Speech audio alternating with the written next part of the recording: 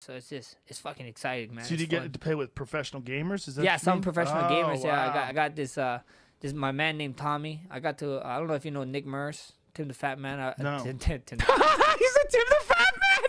Oh no. Oh. Oh, he said Tim the Fat Man on fucking Joe Rogan. That's awesome. Fat Man, Tim the Tap Man. I got this. That's Tim, go. Tim, I'm sorry. Tim. That's a clip. I'm sorry, Tim.